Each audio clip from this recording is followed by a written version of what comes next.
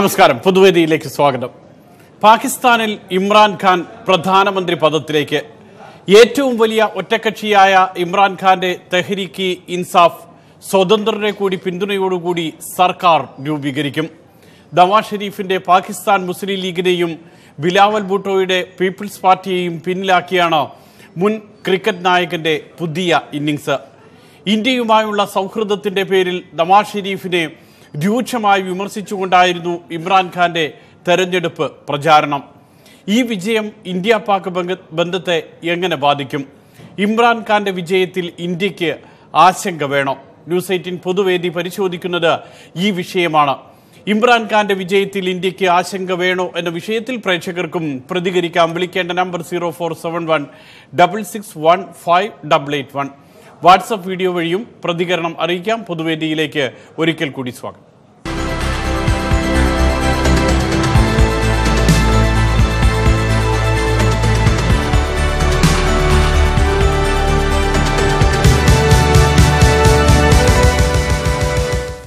ആദ്യം വിദേശകാര്യ വിദഗ്ധൻ ശ്രീ സെബാസ്റ്റ്യൻ ബോളിലേക്ക്. ശ്രീ സെബാസ്റ്റ്യൻ ബോൾ ഏതായാലും ഒരു മാറ്റം പാകിസ്ഥാനിൽ വരാൻ പോകുന്നു. ഇത്രയും കാലം ഒരു ജനാധിപത്യത്തിന്റെ രീതിയിലേക്ക് തിരിച്ചു വന്നിരുന്ന പാകിസ്ഥാൻ പുതിയ രീതിയിലേക്ക് മാറുന്നു എന്ന് വേണോ? ഇമ്രാൻഖാന്റെ തെരഞ്ഞെടുപ്പ് വിജയത്തെ ആദ്യം വിലയിരുത്തേണ്ടത്. കാരണം സൈന്യത്തിന് വലിയ സ്വാധീനമുണ്ട്. പലയിടത്തും സൈന്യമാണ് ഇമ്രാൻഖാനു വേണ്ടിയും ഡമ്മി സ്ഥാനാർത്ഥികളെ നിർത്തിയിരുന്നത് എന്നൊക്കെയുള്ള വിമർശനമുണ്ട്. ഈ ഒരു സാഹചര്യത്തിൽ ഫലം വന്ന് ഇമ്രാൻഖാൻ അധികാരത്തിലേക്ക് വരുമ്പോൾ എന്തു തോന്നുന്നു? പാകിസ്ഥാന്റെ രാഷ്ട്രീയം? അല്ല സൈന്യം കളിക്കളത്ത് ഇറങ്ങി കളിക്കുന്ന രാജ്യമാണ് പാകിസ്ഥാൻ.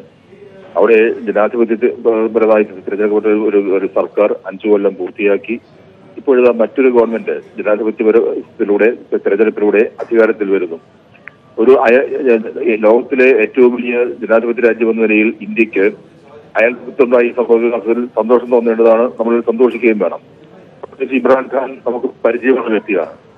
പാകിസ്ഥാൻ ക്രിക്കറ്റ് ക്യാപ്റ്റൻ എന്ന നിലയ്ക്ക് അദ്ദേഹത്തെ ഇന്ത്യയിൽ അറിയാത്തവരുണ്ടാവില്ല. അത്രയും നമുക്ക് പരിചയമുണ്ട്. പക്ഷേ ഈ പരിചയവും സ്നേഹവും ഒക്കെ ഉണ്ട് എന്ന് പറയുമ്പോഴും ഇമ്രാൻഖാൻ അദ്ദേഹം സ്വയം രൂപപ്പെടുത്തിയെടുത്തിയ ഒരു പ്ലാറ്റ്ഫോം. ആ പ്ലാറ്റ്ഫോം എന്നത് ഇന്ത്യ വിരുദ്ധതയാണ്. ഇന്ത്യ വിരുദ്ധമായ ഒരു ഒരു പ്ലാറ്റ്ഫോമിൽ നിന്നുകൊണ്ടാണ് അദ്ദേഹം തന്റെ രാഷ്ട്രീയ അടിത്തറ കെട്ടിപ്പടുത്തിരിക്കുന്നത്. സൈന്യത്തിന് സൈന്യത്തെ അദ്ദേഹം അല്ലാതെ ആശ്രയിക്കുന്നുണ്ട്. സൈന്യത്തിന്റെ നോമിനിയാണ് ഇമ്രാൻഖാൻ എന്ന് പറഞ്ഞാലും അതിൽ തെറ്റുവരില്ല അങ്ങനെയുള്ള ഇമ്രാൻഖാൻ വിജയിച്ച് പ്രധാനമന്ത്രിയാകുമ്പോൾ അത് വലിയ തോതിൽ നമുക്ക് സന്തോഷത്തിന് വക നൽകുന്നില്ല. സന്തോഷത്തിന് വക നൽകുന്നില്ല എന്ന് മാത്രമല്ല അല്പം ആശങ്കയ്ക്കും വക നൽകുന്നുണ്ട്. കാരണം പാകിസ്ഥാന്റെ ചരിത്രം. അതാണ് കൂടുതൽ നവാസ് ഷെരീഫിനെ പോലെയൊക്കെ നമ്മുടെ താല്പര്യവും അനുഭവവും ഉള്ള പ്രധാനമന്ത്രി വന്നപ്പോൾ പോലും അപകടങ്ങൾ ഉണ്ടായിട്ടുണ്ട്. അതുകൊണ്ട് ഇമ്രാൻഖാന്റെ വിജയത്തിൽ ഇന്ത്യയ്ക്ക് ഇന്ത്യയ്ക്ക് സന്തോഷമുണ്ട്. നമുക്ക് പ്രതീക്ഷ പ്രതീക്ഷയെ നിലനിർത്താൻ പക്ഷേ അതിനെല്ലാം ഉള്ളിൽ ആശങ്കയുമുണ്ട്. അതാ അതാണ് ഇപ്പോൾ അല്പം മുൻപ് ന്യൂസ് എയ്റ്റീനോട് ദുബൈയിൽ നിന്നും സംസാരിക്കുമ്പോൾ പാകിസ്ഥാന്റെ മുൻ പ്രസിഡന്റ് പർവേസ് മുഷാറഫ് പറഞ്ഞത് ഇന്ത്യ ഇപ്പോൾ ഉന്നയിക്കുന്ന ആശങ്കയ്ക്ക് അടിസ്ഥാനമില്ല. ആത്മാർത്ഥതയും അധ്വാനശീലവുമുള്ള ഒരു നേതാവാണ് ഇമ്രാൻഖാൻ പാകിസ്ഥാൻ ജനതയുടെ തെരഞ്ഞെടുപ്പിൽ തെറ്റ് സംഭവിച്ചിട്ടില്ല എന്നാണ് അല്പം മുൻപ് മുഷറഫ് പറഞ്ഞത്. അതിനെ എങ്ങനെ കാണാം? അല്ല തെര- തെരഞ്ഞെടുപ്പ് ആ, ക്രമക്കേടുണ്ടോ അത് നന്നായിട്ടാണ് നടന്നത് എന്ന് കഴിഞ്ഞാൽ അഭിപ്രായം പറയുന്നില്ല. അതിൽ ആദ്യം ആശങ്ക പ്രകടിപ്പിച്ചത് അമേരിക്ക തന്നെയാണ്. അവർക്ക് എന്തെങ്കിലും അതിന് അടിസ്ഥാനമുണ്ടോ എന്നറിയില്ല. തെരഞ്ഞെടുപ്പ് കമ്മീഷൻ തെരഞ്ഞെടുപ്പ് വിജയകരമായി പൂർത്തിയാക്കി നമ്മുടെ ഇതിൽ നിന്ന് വ്യത്യസ്തമായി പോളിംഗ് കഴിഞ്ഞ ഉടൻ തന്നെ അതിന്റെ കൗണ്ടിംഗ് ആരംഭിച്ചു. ഇപ്പോൾ കൃത്യമായി വ്യക്തമായ ഒരു ഒരു റിപ്പോർട്ടുകൾ നമുക്ക് കിട്ടിക്കഴിഞ്ഞു. ഇന്ത്യ ഇന്ത്യയിൽ നമുക്ക് ഒരു തെരഞ്ഞെടുപ്പ് കമ്മീഷനുണ്ട്. നന്നായി പ്രവർത്തിക്കുന്ന രാജ്യമാണ് ഇന്ത്യ. എല്ലാവർക്കും ആക്ഷേപമില്ല എങ്കിൽ പോലും ഇന്ത്യയിലും ഓരോ തെരഞ്ഞെടുപ്പ് കഴിയുമ്പോഴും പരാജയപ്പെടുന്നവർ ആക്ഷേപം ഉന്നയിക്കാറുണ്ട്. ഇലക്ട്രോണിക് വോട്ടിംഗ് യന്ത്രത്തിന്റെ കുഴപ്പമാണ്. മറ്റു പലതും നമ്മൾ പറയാറുണ്ട്. അപ്പൊ അത് നമുക്ക് തൽക്കാലം മാറ്റിവെക്കാം യഥാർത്ഥത്തിലുള്ള നിർമ്മിച്ച് തന്നെയാണ് അവിടെ ഉണ്ടായത് എന്ന് നമുക്ക് നമുക്ക് അങ്ങനെ കരുതാം. പക്ഷേ ഒരു പ്രശ്നമുള്ളത് ഇമ്രാൻഖാന്റെ നിലപാട്. ഇമ്രാൻഖാന്റെ നിലപാട് എന്ന് പറഞ്ഞാൽ സൈന്യവുമായി അത്ര അടുത്ത ബന്ധമുള്ള ഇമ്രാൻഖാന്റെ നിലപാട് ഇന്ത്യയ്ക്ക് തീർച്ചയായും ഒരു ഒരു ആശങ്കയ്ക്ക് കാരണമായി തീരേണ്ടത് തന്നെയാണ്. ഒരു കാര്യം കൂടി ശ്രീ സെബാസ്റ്റ്യൻ പോൾ ഇപ്പോൾ ഈ പറയുന്നത് പോലെ ഏറ്റവും കൂടുതൽ നമ്മൾക്ക് ആശങ്കയുള്ളത് ഒന്ന് കാശ്മീർ നയം എന്തായിരിക്കും എന്നുള്ളതാണല്ലോ. പ്രത്യേകിച്ച് ഇന്ത്യ ഒരു ഇലക്ഷൻ വർഷത്തിലേക്ക് പോകുന്നത് കൊണ്ട് തന്നെ ഇന്ത്യ ഭരിക്കുന്ന ബി ജെ പിക്ക് സ്വാഭാവികമായും അതിർത്തിയിൽ ഒരു സംഘർഷം ഉണ്ടാകുന്നത് അത് ഈ തെരഞ്ഞെടുപ്പ് സമയത്ത് കൂടുതൽ ഗുണം ചെയ്യുമെന്നുള്ള ഒരു ധാരണ നരേന്ദ്രമോദി സർക്കാരിനും ഉണ്ടാകും. ഏതായാലും അങ്ങനെ ഒരു കശ്മീർ നയം അതോടൊപ്പം ഇമ്രാൻഖാന്റെ കശ്മീർ നയം അതോടൊപ്പം ഈ പറയുന്ന സൈന്യത്തിന്റെ ഒരു പിന്തുണ പിന്നീട് ഒന്നാണ് ഈ ഭീകരരുടെ പിന്തുണ എന്ന് പറയുന്നത്. പ്രത്യേകിച്ച് മുത്താഹിദ മജ്ലിസ് പോലുള്ള സംഘടനകളുടെ പിന്തുണ എന്ന് പറയുന്നത്. അത് എങ്ങനെയായിരിക്കും ഈ തീവ്രവാദ സംഘടനകളുടെ സാന്നിധ്യം ഇമ്രാൻഖാനെ പ്രത്യേകിച്ച് പാകിസ്ഥാനിൽ എപ്പോഴും അത് സർക്കാരിനെ സ്വാധീനിക്കുന്നുണ്ട്. ഇമ്രാൻഖാന്റെ കാര്യത്തിൽ അത് എങ്ങനെയായിരിക്കും? അല്ല നേരത്തെ നോക്കുകയാണെങ്കിൽ പാകിസ്ഥാനിൽ പട്ടാളത്തിന്റെ നിയന്ത്രണം മാത്രമാണ് ഉണ്ടായിരുന്നത്. പക്ഷെ ഇപ്പോൾ പട്ടാളത്തിന് ഒരു പാതി നിയന്ത്രണമേ ഉള്ളൂ വാസ്തവത്തിൽ. ബാക്കി പാതി എന്നത് ഈ മത തീവ്രവാദികളും ഭീകര സംഘടനകളും ഒക്കെ ചേർന്ന് പാകിസ്ഥാനിൽ വല്ലാതെ ഇടപെ- ഇടപെടുന്നുണ്ട്. അപ്പോൾ അങ്ങനെയുള്ള ഒരു അവസ്ഥയിൽ ഇമ്രാൻഖാൻ അദ്ദേഹം എത്ര നല്ല മനുഷ്യനാണ് എന്ന് പറഞ്ഞാലും എത്ര നല്ല ഉദ്ദേശത്തോടെ അധികാരത്തിലേക്ക് വരുന്നു എന്ന് പറഞ്ഞാലും ഇന്ത്യയുമായി നല്ല ബന്ധം സ്ഥാപിക്കാൻ കഴിയില്ല. അങ്ങനെ ഇന്ത്യയുമായി നല്ല ബന്ധം സ്ഥാപിച്ചുകൊണ്ട് പാകിസ്ഥാനിലെ പട്ടാളത്തിനും ഈ തീവ്രവാദ സംഘടനകൾക്കും ഇന്നത്തെ രീതിയിൽ മുന്നോട്ട് പോകാനും കഴിയില്ല. അതുകൊണ്ട് ഇമ്രാൻഖാൻ ഒരു കരുവായി മാറും. ഇമ്രാൻഖാന്റെ ഇതുവരെയുള്ള ഇപ്പൊ നവാസ് ഷെറീഫിനെയൊക്കെ ഇമ്രാൻഖാൻ വിമർശിച്ചത് ഇന്ത്യയുമായി നല്ല ബന്ധം സ്ഥാപിക്കുന്നു എന്നതിന്റെ പേരിലാണ്. അപ്പോൾ അത് ഇമ്രാൻഖാന്റെ കുഴപ്പമാണ് ഞാൻ കരുതുന്നില്ല. കാരണം അവിടെ ഇപ്പോഴത്തെ അവസ്ഥയിൽ അങ്ങനെ ഒരു നിലപാട് സ്വീകരിക്കാൻ കഴിയുകയുള്ളൂ. നമ്മൾ ഒരു പൊതു തെരഞ്ഞെടുപ്പിലേക്ക് ഇന്ത്യ പോവുകയാണ്. ഈ ഈ ഇനി വരുന്ന മാസങ്ങൾ വളരെ നിർണായകമാണ്. ആ സമയത്ത് അതിർത്തിയിൽ ഒരു സംഘർഷാവസ്ഥ ഉണ്ടാകുക പാകിസ്ഥാൻ ഒരു ഭീഷണിയായി മാറുക ആശങ്കയായി മാറുക. അത് ഇന്ന് ഇന്ത്യ ഭരിക്കുന്നവർക്ക് ര- പാർട്ടികൾക്കും ഒരുപക്ഷെ അത് സന്തോഷകരമായിരിക്കാം. കാരണം അത് ഇലക്ഷനെ ഒരു വിഷയമാക്കി മാറ്റാൻ കഴിയും. ഏതായാലും ഈ പെട്ടെന്ന് ഒരു ഒരു ഒരു നല്ല സാധാരണ നില ഇന്ത്യ പാകിസ്ഥാൻ ബന്ധങ്ങളിൽ ഉണ്ടാകാൻ പോകുന്നില്ല. റൈറ്റ്. വളരെയധികം നന്ദി. Shri Sebastian Paul doctor Sebastian പോളാണ് സംസാരിച്ചത്. പ്രേക്ഷകൻ വിഷ്ണു നമ്മളോടൊപ്പം ചേരുന്നുണ്ട്. വിഷ്ണു ഇതാണ് സെബാസ്റ്റ്യൻ പോൾ അതോടൊപ്പം തന്നെ മറ്റ് വിദേശകാര്യ വിദഗ്ധരും എല്ലാം വിലയിരുത്തുന്നത്. നവാസ് ഷെരീഫിന്റെ പാർട്ടി വിജയിച്ചിരുന്നുവെങ്കിൽ ഇന്ത്യയ്ക്ക് ഉണ്ടാകേണ്ട മാനസികാവസ്ഥയല്ല ഇമ്രാൻഖാൻ വിജയിക്കുമ്പോൾ ഉണ്ടാകേണ്ടത്. ഇമ്രാൻഖാൻ വിജയിക്കുമ്പോൾ നമ്മൾ കുറച്ചുകൂടി കരുതൽ വേണമെന്ന് പറയുന്നു. എന്തു തോന്നുന്നു? എനിക്ക് അങ്ങനെയല്ല തോന്നുന്നത്. എനിക്ക് തോന്നുന്നതെന്ന് പറഞ്ഞു കഴിഞ്ഞാൽ പാകിസ്ഥാൻ ആര് ഭരിക്കുന്നതുള്ളതെന്നല്ല പ്രശ്നം. നമ്മൾ എന്ന് പറഞ്ഞാൽ അവിടെ ആരാണ് പവറിൽ നിൽക്കുന്നത് അവരുമായിട്ട് നമ്മൾ ഡീൽ ചെയ്യണം. അത് ഡീൽ ചെയ്തിട്ട് നമ്മൾ കശ്മീർ ഇഷ്യൂ ഇഷ്യൂ ഒരു സെൻട്രൽ ഇഷ്യൂ ആയിട്ട് വരുന്നെങ്കിൽ നമ്മൾ ഇന്ത്യ പാകിസ്ഥാൻ ബംഗ്ലാദേശ് റീയൂണിഫിക്കേഷന്റെ കാര്യമാണ് നോക്കേണ്ടത്. നമ്മൾ മൂന്ന് രാജ്യങ്ങളുടെ പോപ്പുലേഷൻ എടുത്തു കഴിഞ്ഞാൽ നമ്മുടെ ലോകത്തിന്റെ ഇസ്ലാമിക് നേഷന്റെ ഏത് ലോകത്തുള്ള ഏത് ഇസ്ലാമിക് നേഷനേക്കാളും കൂടുതൽ മുസ്ലിങ്ങൾ നമ്മൾ ഇന്ത്യയിൽ മൂന്ന് രാജ്യങ്ങളിലുണ്ട്. ലോകത്ത് ഇപ്പൊ തന്നെ ലോകത്തിന്റെ രണ്ടാമത് അധികം രണ്ട് രണ്ടാമത് മുസ്ലിങ്ങളുടെ പോപ്പുലേഷൻ ഉള്ള രാജ്യമാണ് ഇന്ത്യ. ഇത്രയധികം മതേരത്വരുടെ രാജ്യം പഴയ കണക്ക് തന്നെ വരണം. ഈ ഫോറിൻ പവേഴ്സിന്റെ ഏഹ്, കുതന്ത്രങ്ങൾക്ക് വഴിപെട്ട് നമ്മൾ മൂന്ന് രാജ്യങ്ങളായി ഡിവൈഡ് ആയി പോയി. ശ്രീ വിഷ്ണു ഇത് ഇതിൽ പാകിസ്ഥാന്റെ പ്രത്യേകിച്ച് ഇമ്രാൻഖാന്റെ കാര്യത്തിൽ ഇമ്രാൻഖാൻ കുറച്ചുകൂടി ഒരു സ്വദേശി വാദത്തിന് ഊന്നൽ നൽകുന്ന ഒരു വ്യക്തിയാണെന്ന് നമുക്ക് തെരഞ്ഞെടുപ്പ് പ്രചാരണത്തിൽ വളരെ കൃത്യമായി തന്നെ വ്യക്തമായിരുന്നു. ഇന്ത്യക്കെതിരായിട്ടുള്ള വിമർശനമായിരുന്നു പ്രധാന ആയുധം. പ്രത്യേകിച്ച് നവാസ് ഷെരീഫിനെതിരായിട്ടുള്ള വിമർശനത്തിൽ വഴിയാക്കി വെച്ചത് അതായിരുന്നു. മറ്റൊന്ന് യമനിലേക്ക് സൈന്യത്തെ അയക്കുന്ന കാര്യം. യമനിലേക്ക് സൈന്യത്തെ അയക്കുന്ന കാര്യത്തിൽ സൗദി അറേബ്യയുടെ ആവശ്യം വന്നപ്പോൾ അതിനെതിരായിട്ടുള്ള നിലപാട് സ്വീകരിക്കുകയാണ്.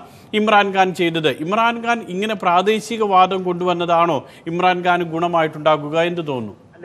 അവിടെ അവിടെ തീവ്രവാദികളെ സപ്പോർട്ട് ചെയ്യുന്ന ആൾക്കാരുണ്ടായിരുന്നെങ്കിൽ അവിടെ എ ടി എന്ന് പറഞ്ഞ പാർട്ടിക്ക് സീറ്റ് കിട്ടിയാൽ അത് കിട്ടിയില്ല. അതിന്റെ അർത്ഥം എന്ന് പറഞ്ഞാൽ ഇവിടെ ആർ എസ് എസിനും കിട്ടുന്നില്ല ഇവിടെ എസ് ഡി പി ഐക്കും കിട്ടുന്നില്ല. ഇവിടെ ബി ജെ പി നല്ല പാർട്ടിയാണ് ആർ എസ് എസുമായിട്ട് യാതൊരു ബന്ധവുമില്ല സി പി എം നല്ല പാർട്ടിയാണ്. ഇവരെല്ലാം നാഷണൽ പാർട്ടികളെല്ലാം വേണം. പക്ഷെ ഞാൻ പറയുന്നത് ഇന്ത്യയുടെ അഡ്വാന്റേജിന് വേണ്ടി പാകിസ്ഥാൻ അഡ്വാന്റേജിന് വേണ്ടി നമ്മുടെ സൗത്ത് സൗത്ത് സബ് കോണ്ടിനെന്റിന്റെ അഡ്വാന്റേജിന് വേണ്ടി നമ്മൾ എന്ത് ചെയ്യണം? റൈറ്റ് വളരെയധികം നന്ദി. വിൻസെന്റ് മറ്റൊരു പ്രേക്ഷകൻ. ശ്രീ വിൻസെന്റ് നമ്മുടെ അയൽപക്കത്ത് ഒരു തെരഞ്ഞെടുപ്പ് നടന്നു. പുതിയ നേതാവ് വരികയാണ് ഇമ്രാൻഖാൻ ആദ്യമായി പ്രധാനമന്ത്രിയാകാൻ പോകുന്നു. എന്ന് തോന്നുന്നു? ആ എനിക്ക് അത് നല്ലൊരു അഭിപ്രായം തോന്നുന്നത് കാരണം അദ്ദേഹം എന്ന് വെച്ച് കഴിഞ്ഞാൽ എല്ലാം ഒരു നല്ല രീതിയിൽ പോണ ഒരു വ്യക്തിയായിട്ടാണ് എനിക്ക് തോന്നിയിട്ടുള്ളത്. അപ്പൊ ആയതുകൊണ്ട് നമുക്കത് ദോഷം ചെയ്യില്ല നല്ലത് തന്നെയാണ് എന്റെ അഭിപ്രായം. അതായത് പാകിസ്ഥാനിൽ ഒരു മാറ്റം വരണം. കാരണം ഇത്രയും കാലമായി നമ്മൾ നവാസ് ഷെരീഫിനെ കാണുന്നു അല്ലെങ്കിൽ മുഷറഫിനെ കാണുന്നു അല്ലെങ്കിൽ ബൂട്ടോയെ കാണുന്നു. ഇതിൽ നിന്നൊക്കെ ഒരു മാറ്റം വന്ന് പുതിയൊരു പരീക്ഷണം. നവ പാകിസ്ഥാൻ എന്നാണ് അദ്ദേഹം വിശേഷിപ്പിക്കുന്നത്. അങ്ങനെ ഒരു പാകിസ്ഥാന്റെ പിറവിക്ക് ഇത് സഹായിക്കുമെന്നാണ് കരുതുന്നത്. ആ പാക്കേജ് അത് സഹായിക്കുന്നതാണ് എന്റെ അഭിപ്രായത്തിൽ കാരണം ഒരു കുറച്ചൊക്കെ ഉള്ള വ്യക്തിയാണെന്ന് എനിക്ക് തോന്നുന്നു അദ്ദേഹം. റൈറ്റ് വളരെയധികം നന്ദി. സാദിഖ് മലപ്പുറത്തുനിന്നും. സാദിഖ് ഇമ്രാൻഖാൻ പാകിസ്ഥാനിൽ പ്രധാനമന്ത്രിയായി വരുമ്പോൾ ക്രിക്കറ്റിൽ വളരെ പരിചയസമ്പന്നനായിട്ടുള്ള ആൾ രാഷ്ട്രീയത്തിലേക്ക് വരുമ്പോൾ അന്ന് വിമർശനമുണ്ടായിരുന്നു രാഷ്ട്രീയത്തിൽ ഇമ്രാൻഖാൻ തിളങ്ങില്ല എന്നുള്ളത്. അതെല്ലാം മാറി രണ്ട് പതിറ്റാണ്ടോളം പയറ്റി തെളിഞ്ഞ ശേഷം പ്രധാനമന്ത്രി പദത്തിലേക്ക് വരികയാണ് ഇമ്രാൻഖാൻ എന്തു തോന്നുന്നു? ക്രിക്കറ്റും രാഷ്ട്രീയവും തമ്മിൽ ബന്ധിപ്പിക്കാൻ പറ്റുമെന്ന് എനിക്ക് തോന്നുന്നില്ല. പ്രത്യേകിച്ച് പാകിസ്ഥാനിലൊരു സ്ഥിതി വെച്ചുകൊണ്ട് എപ്പോഴും ഇന്ത്യയായിട്ടൊരു വാറിനെയാണ് അവർ കൂടുതൽ ചാൻസ് കൊടുക്കുന്നത്. അവർ പാകിസ്ഥാനിലെ ജനങ്ങൾക്കിടയിൽ ഒരു പേരെടുക്കണമെങ്കിൽ ഇന്ത്യ അയൽ രാജ്യം എന്നുള്ളതിൽ ചൈന ഇന്ത്യ ചൈന പോലെ തന്നെ ഒരു വാറിന് ആളുകൾക്ക് എപ്പോഴും ഒരു ഇമേജ് ഉണ്ടാകണമെങ്കിൽ പാകിസ്ഥാൻ ഇന്ത്യ എന്നുള്ളൊരു പ്രശ്നം അവിടെ നിലനിർത്തണം. അപ്പോ ഇമ്രാൻഖാൻ വന്നാലും ഇതുപോലെ തന്നെ തുടരാനാണ് ചാൻസ് എന്ന് പറഞ്ഞാൽ ഇമ്രാൻഖാൻ വന്നു കഴിഞ്ഞാൽ ഉറച്ചുകൂടി ശക്തമാകുമോ ഇന്ത്യയും പാകിസ്ഥാനും തമ്മിലുള്ള ഈ ഒരു സംഘർഷം? അത് അങ്ങനെ ആവാനാണ് ചാൻസ് എന്താ വെച്ചാൽ ഇന്ത്യയുടെ നരേന്ദ്രമോദി സർക്കാരും പാകിസ്ഥാനായിട്ടുള്ള ഒരു ബന്ധം അങ്ങനെ തന്നെ പോകും റൈറ്റ് വളരെയധികം നന്ദി. വിജി പ്രഭാകരൻ ചേരുന്നു. വിജി ആ, ഈ പറയുന്നത് പോലെ നരേന്ദ്രമോദി സർക്കാരിനാണെങ്കിൽ ഒരു തെരഞ്ഞെടുപ്പിലേക്ക് പോകുമ്പോൾ അതിർത്തിയിൽ സംഘർഷമുണ്ടെങ്കിൽ അതിന്റെ പേരിൽ ദേശീയവാദം കുറച്ചുകൂടി ശക്തി ശക്തമായിട്ട് ഉന്നയിക്കാം. ഇമ്രാൻഖാൻ ആണെങ്കിൽ നവാസ് ഷെരീഫിന് കുറ്റം പറയാൻ ഇന്ത്യയെ ഇന്ത്യക്കെതിരെ പറയുകയും വേണം. അങ്ങനെ നോക്കുമ്പോൾ ഇന്ത്യ പാകിസ്ഥാൻ ഒരു ബന്ധം കൂടുതൽ മോശമാകുമെന്നാണോ പ്രതീക്ഷിക്കേണ്ടത്? അതോ പുതിയൊരു ഇന്നിങ്സ് ഉണ്ടാകുമോ? എന്ത് തോന്നുന്നു വിജി?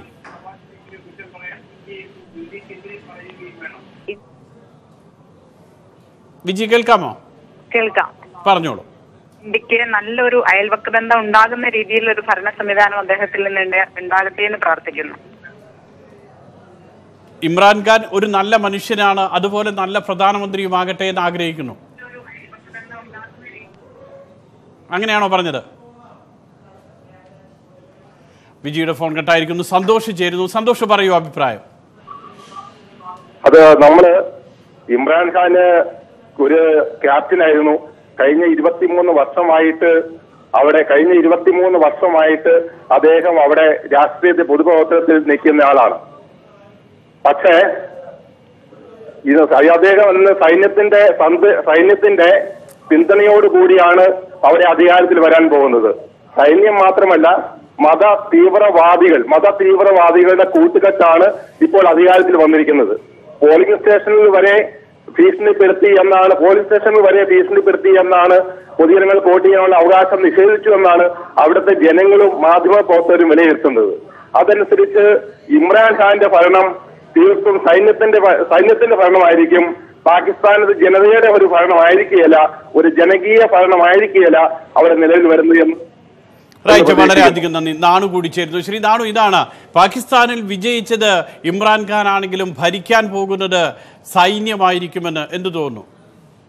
ഇന്ത്യ ആശങ്കപ്പെടേണ്ട യാതൊരു കാര്യവുമില്ല ഇന്ത്യയിൽ ജനാധിപത്യ രീതിയിൽ ഒരു ഗവൺമെന്റ് ഇന്ത്യയിലെ ജനങ്ങളെ ഇന്ത്യയും കാത്തു സൂക്ഷിക്കാനുണ്ടെങ്കിൽ മറ്റുള്ള രാജ്യത്തെ ഏത് ഗവൺമെന്റുകൾ നമ്മളെ സംബന്ധിച്ച് നമുക്ക് എന്ത് പ്രശ്നം?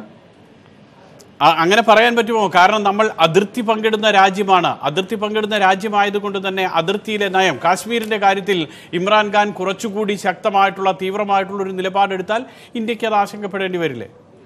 എന്ത് ആശങ്കപ്പെടും? ഇന്ത്യയ്ക്ക് ഏത് ഇമ്രാൻഖാൻ ഏത് നിലപാട് സ്വീകരിച്ചാലും അതിനെ നേരിടാൻ സജ്ജമായ ഒരു ഗവൺമെന്റും ശക്തി പ്രാപിച്ച ഒരു ഗവൺമെന്റും അതിനെ നേരിടാൻ സജ്ജമായ ഒരു പട്ടാളവും ഇന്ത്യയിലുണ്ടെങ്കിൽ ഇന്ത്യ എന്തിനും ആശങ്കപ്പെടണം? അതാണ് നമ്മൾക്ക് പക്ഷേ ഒരു ഒരു അസ്വസ്ഥത ഒരു ആശങ്ക ഒക്കെ ഉണ്ടാകില്ലേ? കാരണം ഈ പറയുന്നത് പോലെ അവിടെയുള്ള ഒരു ലിബറൽ ഗവൺമെന്റ് ആയിരുന്നുവെങ്കിൽ നവാസ് ഷെരീഫ് ഒന്നും നടന്നിട്ടില്ല എങ്കിൽ പോലും നവാസ് ഷെരീഫ് ഇന്ത്യയിൽ ഇന്ത്യയുടെ റിപ്പബ്ലിക് ദിനത്തിനോ അല്ലെങ്കിൽ സ്വാതന്ത്ര്യ ദിനത്തിനോ അതും അല്ലെങ്കിൽ മറ്റൊരു ചടങ്ങിനോ ഒക്കെ അതിഥിയായെത്തുന്നു. നരേന്ദ്രമോദി അവിടെ പിറന്നാളിനോ വിവാഹത്തിനോ ഒക്കെ പോകുന്നു. ഇങ്ങനെയുള്ള ദൃശ്യങ്ങളെങ്കിലും കാണാനുണ്ട്. ഫോൺ കട്ടായി പോകുന്നു സോമനാഥൻ ചേരുന്നു സോമസുന്ദരൻ ചേരുന്നു നമ്മളോടൊപ്പം. ശ്രീ സോമസുന്ദരൻ എന്തു തോന്നുന്നു ഇമ്രാൻഖാന്റെ കാര്യത്തിൽ? ഈ പറയുന്നത് പോലെ ആശങ്കയൊന്നും വേണ്ട. ഇന്ത്യ ഇന്ത്യയുടെ വഴിക്ക് ശക്തമായിട്ടുള്ള നിലപാടെടുത്താൽ മതിയോ? അതോ ഇമ്രാൻഖാൻ വരുമ്പോൾ ഒരു മാറ്റം പാകിസ്ഥാനിൽ ഉണ്ടാകുമെന്ന് ആശങ്കപ്പെടേണ്ടതുണ്ടോ? എന്ത് തോന്നുന്നു സോമസുന്ദരൻ? ഇമ്രാൻഖാൻ വന്നതുകൊണ്ട് പാകിസ്ഥാന്റെ സ്വഭാവ രീതിയിൽ മാറ്റം ഉണ്ടാകുമെന്നും ഞാൻ കണക്കാക്കുന്നില്ല. മാത്രവുമല്ല നമ്മളെ സംബന്ധിച്ചിടത്തോളം നമുക്ക് ശക്തമായ അടിത്തറയും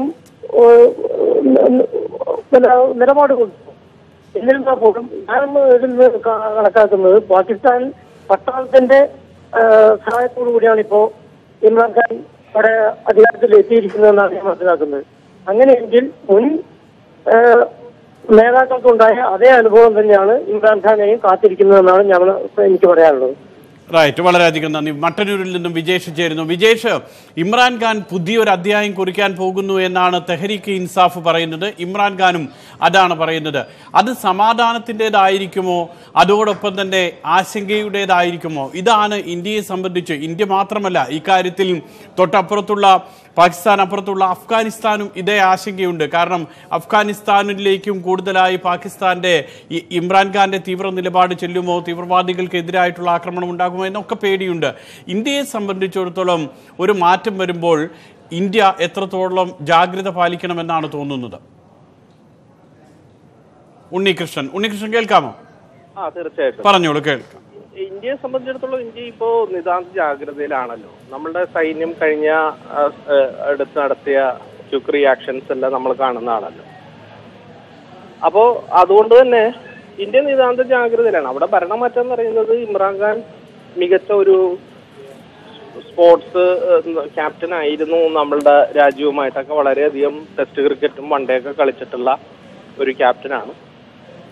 അപ്പൊ അതുകൊണ്ട് തന്നെ അദ്ദേഹത്തിന്റെ ഭാഗത്തു നിന്നും മികച്ചൊരു സമീപനം പ്രതീക്ഷിക്കുന്നു. റൈറ്റ് വളരെയധികം നന്ദി. പ്രീത കൂടി ചേരുന്നു നമ്മളോടൊപ്പം. പ്രീത ക്രിക്കറ്റുമായി ഇന്ത്യയിൽ പലതവണ വന്നിട്ടുള്ള ആളാണ് ഇമ്രാൻഖാൻ ഇമ്രാൻഖാൻ ഇനി നയതന്ത്രവുമായി വരികയാണ് രാഷ്ട്രീയവുമായി വരികയാണ് പ്രധാനമന്ത്രിയായി വരികയാണ്. ഇന്ത്യയോട് കുറെ കൂടി ഒരു സൗഹൃദ മനോഭാവം ഇമ്രാൻഖാന്റെ സർക്കാരിന് ഉണ്ടാകുമെന്ന് പ്രതീക്ഷിക്കാമോ എന്ന് തോന്നുന്നു പ്രീത. പറഞ്ഞോളൂ കേൾക്കാം.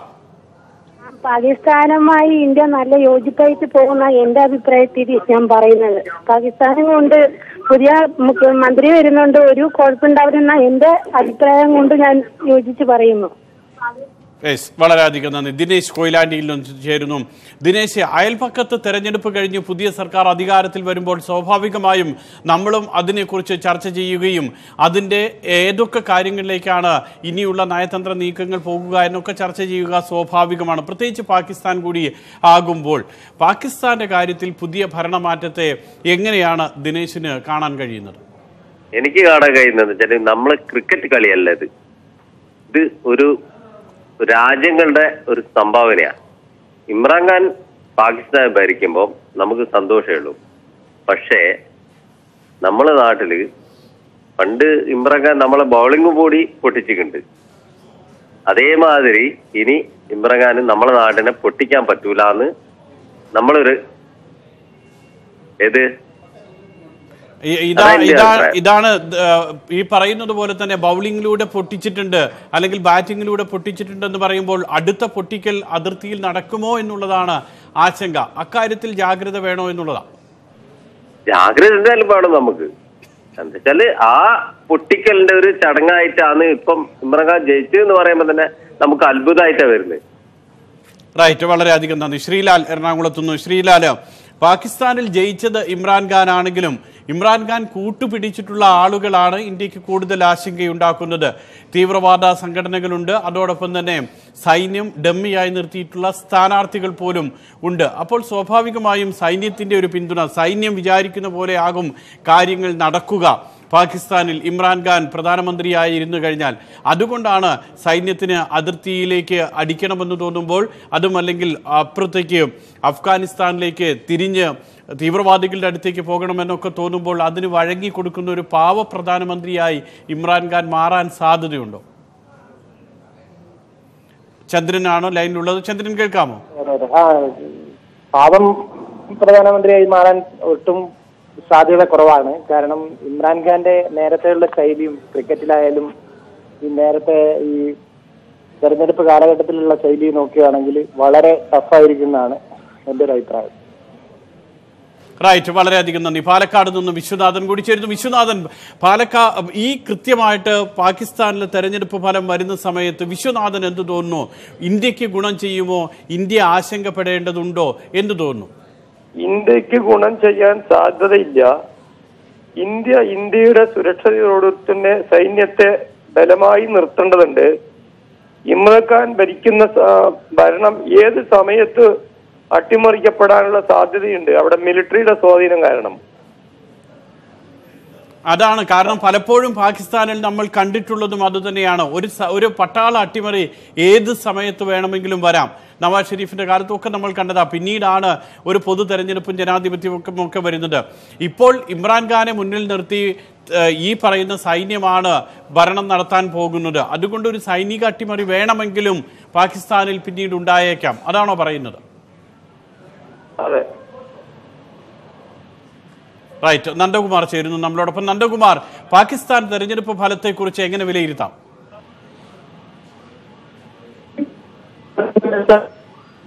പറഞ്ഞോളൂ കേൾക്കാം നന്ദകുമാർ.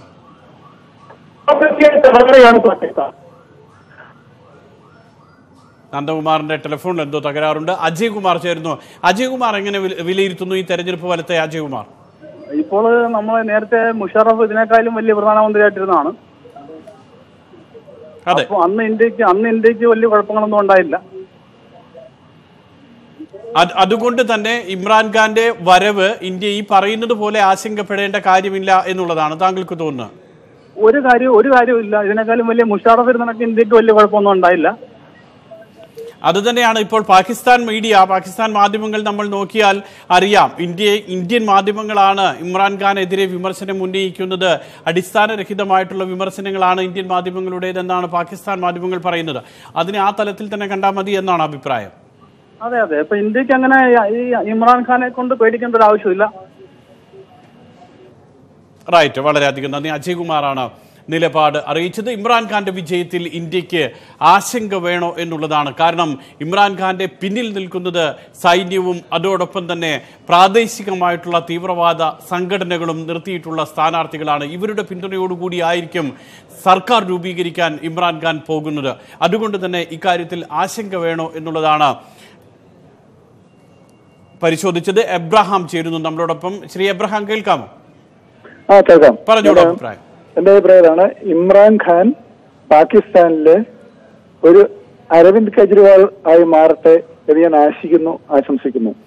കാരണം അദ്ദേഹം ചെറിയ ആളെന്നല്ല ജനങ്ങൾക്ക് വേണ്ടി ജനങ്ങളുടെ പ്രശ്നങ്ങൾ കണ്ട് സ്വന്തമായ ഒരു പാർട്ടി ഉണ്ടാക്കി അത് ഇന്ന് അധികാരത്തിൽ എത്തിക്കാൻ മാത്രം കെൽപ്പ് കാണിച്ച ഒരു മനുഷ്യനാണ് ഒരു നേതാവാണ്. അതുകൊണ്ട് അരവിന്ദ് കെജ്രിവാളിനെ പോലെ ഒരു നേതാവായി മാറട്ടെ എന്ന് ആശംസിക്കുന്നു. എബ്രഹാം അതാണ് കാരണം എബ്രഹാം അതാണ്. താങ്കൾ പറഞ്ഞതുപോലെ ഇമ്രാൻഖാൻ നിലവിലുള്ള ഒരു പാർട്ടിയിലേക്ക് വരികയല്ല ചെയ്തത്. സ്വന്തമായ ഒരു പാർട്ടി ഉണ്ടാക്കി അധ്വാനിച്ച് അതിന്റെ വേര് പാകിസ്ഥാൻ മണ്ണിലേക്ക് ഇറക്കി അവിടെ നിന്നും പ്രവർത്തകരെ ഉണ്ടാക്കി അങ്ങനെ വളർത്തിക്കൊണ്ടുവന്നതാണ്. സ്വാഭാവികമായും ഈ പാർട്ടിയും ഈ സംഘടനയും ഒന്നും പെട്ടെന്ന് തകരരുത്. ഇത് ഇനിയും നിലനിൽക്കണം. അങ്ങനെ നിലനിൽക്കണമെങ്കിൽ നല്ല ഭരണം ജനങ്ങൾക്ക് കൊടുക്കണമെന്ന് അദ്ദേഹം ആഗ്രഹിക്കും. അതെ തീർച്ചയായിട്ടും. അതുപോലെ നവാസ് ഷെരീഫ് എന്ന് പറയുന്നത് കോർപ്പറേറ്റ് ഭീമനാണ് ഇന്ത്യ ഇന്ന് ഭരിക്കുന്നതും മുൻപത്തെക്കാൾ കൂടുതലായിട്ട് കോർപ്പറേറ്റ് ഭീമന്മാർ തന്നെയാണ്. അതുകൊണ്ട് അവർക്ക് തമ്മിൽ ടൈപ്പ് ഉണ്ടായിരുന്നു. അവരുടെ സിസ്റ്റം വേറെ ഇമ്രാൻഖാന്റെ സിസ്റ്റം വേറെ. വളരെയധികം അവസാനമായി ശ്രീ ബാലചന്ദ്രൻ കൂടി ചേരുന്നു. ബാലചന്ദ്രൻ പറയും. സാറേ ഇമ്രാൻഖാൻ നമ്മുടെ ഇന്ത്യയ്ക്ക് ഒരു ഭീഷണിയല്ല കാരണം പാകിസ്ഥാന്റെ ചെയ്ത അവിടെ കൂട്ടം മുതൽ നവാസ് ഷെരീഫ് വരെയുള്ളവരുടെ ഗതി എന്താണ്? ആ ഗതി തന്നെ ഇമ്രാൻഖാനും വരും. ഒന്നീ ജയിലിലടയ്ക്കും അല്ലെ കൊലപ്പെടും റൈറ്റ്. വളരെയധികം നന്ദി. ഇമ്രാൻഖാന്റെ വിജയത്തിൽ ഇന്ത്യയ്ക്ക് ആശങ്ക വേണോ എന്നുള്ളതാണ് പരിശോധിച്ചത് സംസാരിച്ച പ്രേക്ഷകർക്കും അതോടൊപ്പം തന്നെ ഡോക്ടർ സെബാസ്റ്റ്യൻ ബോളിനും നന്ദി. വൈകിട്ട് ആറരയ്ക്ക് മറ്റൊരു വിഷയവുമായി വീണ്ടും കാണാം. നമസ്കാരം.